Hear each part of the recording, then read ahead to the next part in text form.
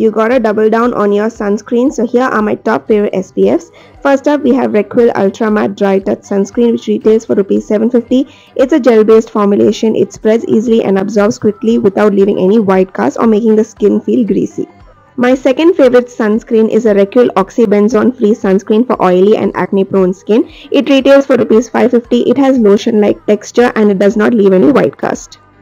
Next up we have the Dot and Key Watermelon Cooling Sunscreen which retails for Rs 495. Now this one is my absolute favorite. It is infused with watermelon and hyaluronic acid and the best part of this sunscreen is it is lightweight and provides hydration without any greasiness. And my fourth favorite sunscreen is the Minimalist Sunscreen Stick which retails for Rs 759. Now this is easy to carry and easy to reapply over the skin throughout the day. It contains various ingredients including vitamin E which has antioxidant properties.